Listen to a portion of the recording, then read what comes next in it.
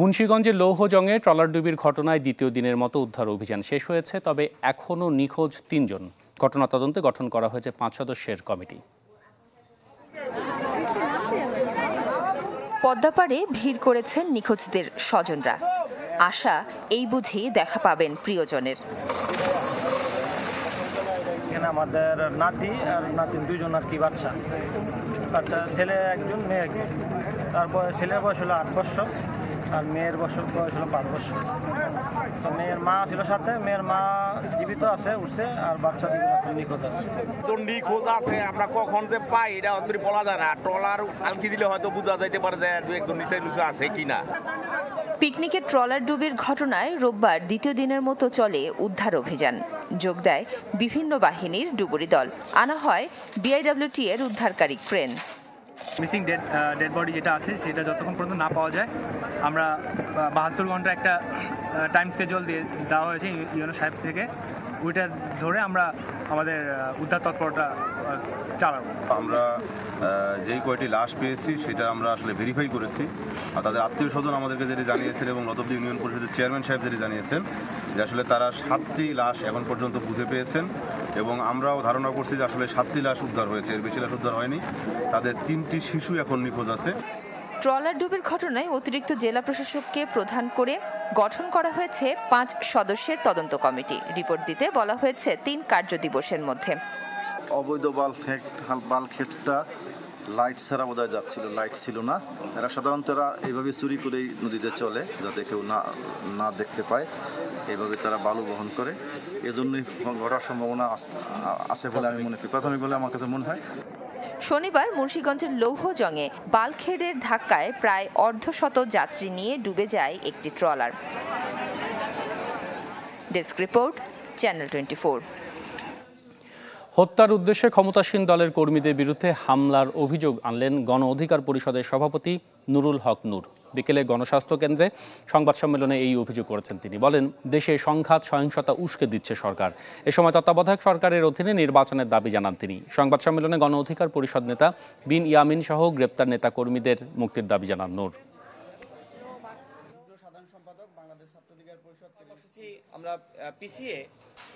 শহীদ জায়া পান্নাগাইসারের প্রতি শ্রদ্ধা জানিয়েছেন সর্বস্তরের মানুষ।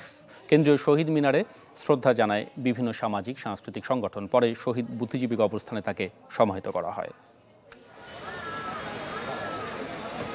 সকাল এগারোটায় বারডেম হাসপাতালের হিমঘর থেকে কেন্দ্রীয় শহীদ মিনারে নেওয়া হয় লেখক, গবেষক ও সাবেক সংসদ সদস্য পান্না কায়সারের মরদেহ।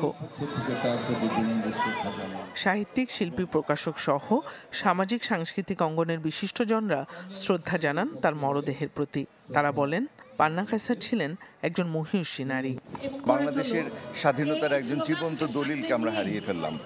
এই মানুষগুলির চলে যাওয়া মানে আমাদেরকে অভিভাবক শূন্য করে দিয়ে চলে যাওয়া। তাদের যে অবদান এই দেশের প্রতি বলে বোঝানো যাবে না এবং প্রজন্মের পর প্রজন্মের বাংলাদেশের নাগরিক তাদের প্রতি কৃতজ্ঞ থাকবে সাময়িকভাবে তিনি বাংলাদেশ অভিভাবকদের একজন ছিলেন। এই ক্ষতি বাঙালি কোনো সময় কাটিয়ে উঠতে পারবে না। পান্নাপা যেখানেই যান পান্নাপা আমাদের সাথেই থাকবেন।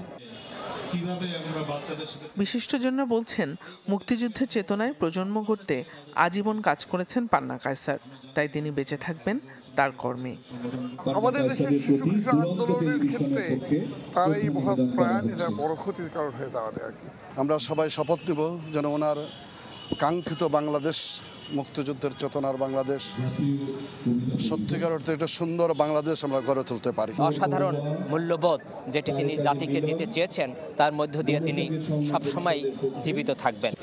মেয়ে শমী কায়সার বলেন পান্না কায়সারের মৃত্যু শুধু পরিবারের নয় দেশের জন্য অপূরণীয় ক্ষতি। আমার মায়ের জন্য আপনারা সকলে দোয়া করবেন। তিনি রেখে গেছেন আমাদের জন্য অনুপ্রেরণা। তিনি সকল নারীকে শক্তি দিয়ে গেছেন। সকল মানুষকে শক্তি দিয়ে গেছেন। গেল শুক্রবার তিয়াত্তর বছর বয়সে রাজধানীর একটি হাসপাতালে মারা যান পান্না কায়সার। শহীদ বুদ্ধিজীবী শহীদুল্লাহ কায়সারের স্ত্রী ছিলেন তিনি। জিনিয়া কবির সূচনা চ্যানেল টোয়েন্টি ঢাকা। আজ বাইশে শ্রাবণ বাঙালির প্রাণের কবি রবীন্দ্রনাথ ঠাকুরের বিরাশিতম মহাপ্রয়াণ দিবস। মৃত্যুদিনে নানা আয়োজনে বিশ্বকবিকে স্মরণ করেন সাহিত্যানারবীরা রবির কিরণের মতোই বাংলা সাহিত্যকে উদ্ভাসিত করেছিলেন কবিগুরু রবীন্দ্রনাথ ঠাকুর। কাব্য, সংগীত, উপন্যাস, ছোট গল্প, নাটক, প্রবন্ধ কিংবা ভ্রমণ কাহিনী সাহিত্যের সব শাখাতেই তার বিচরণ। বিশ্ব বাঙালির প্রাণের মানুষ, তার বর্ণাঢ্য সৃজনশীল জীবন শেষে অসীমের পথে পাড়ি জমান বাংলা বারোশো সালের বাইশে শ্রাবণ। বিশ্বকবি তার শেষ দিনগুলোতে কখনো ছিলেন শয্যাশায়ী, কখনো বা মন্দের ভালো। শেষ দিকে প্রচণ্ড হেঁচকি কাবু করে ফেলে কবিকে। দাওয়াই হিসেবে ময়ূরের পোড়া পালকও থামাতে পারেনি তা।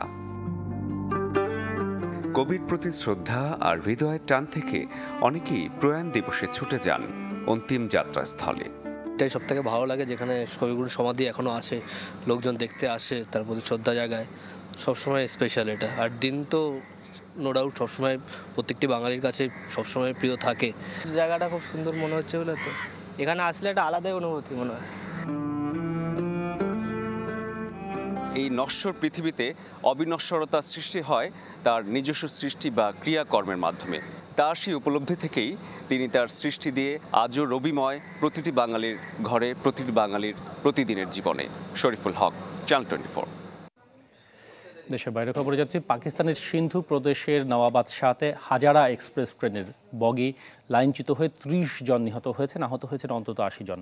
রোববার সকালে সাহারা রেলওয়ে স্টেশনের কাছে এটি লাইনচ্যুত হয়। ট্রেনটি করাচি থেকে রাওয়ালপিন্ডি যাচ্ছিল। এখনও অনেক বগিতে আটকে থাকা যাত্রীদের উদ্ধারের কাজ চলছে।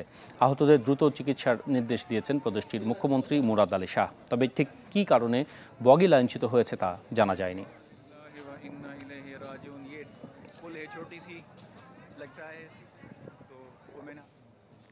এই ছিল আর I L angle and channel news room আপডেটে এতক্ষণ সাথে থাকার জন্য সবাইকে ধন্যবাদ।